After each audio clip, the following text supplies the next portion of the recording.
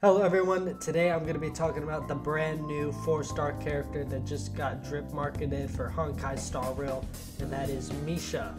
Misha?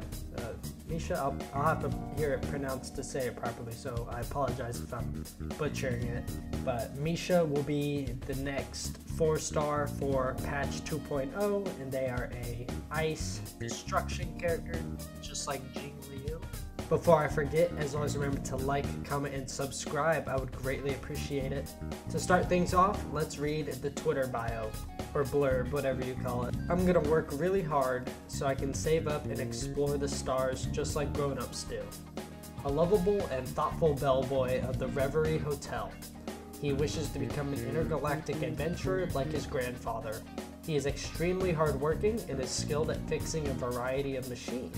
He also had a fondness for sharing interstellar rumors with guests. He hopes he can grow up faster and looks forward to embarking on his own star treading journey. So he seems like a cool character just from that bio. I like his design, the little bellboy hat, the coat looks really cool, and look at the little kitty cats at the bottom, super cool, and whatever this blue bunny thing with the broom is, is cool.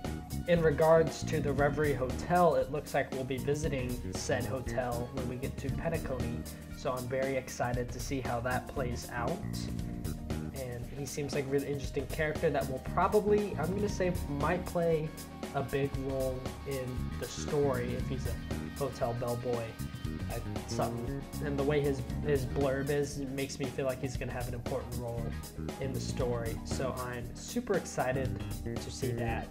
Now the fact that he's ice destruction intrigues me because Jing Liu is ice destruction, and we know how she is super duper OP and powerful. I mean, my Jing Liu does insane amount of damage. I have like 30 crit rate and like 233 crit damage. It's super crazy. So I'm interested to see what th- uh, their kit is like in comparison to Jing Liu's kit. That's gonna do it for today's video. Let me know down below in the comments if you'll be pulling for Misha, and have a great day. Peace.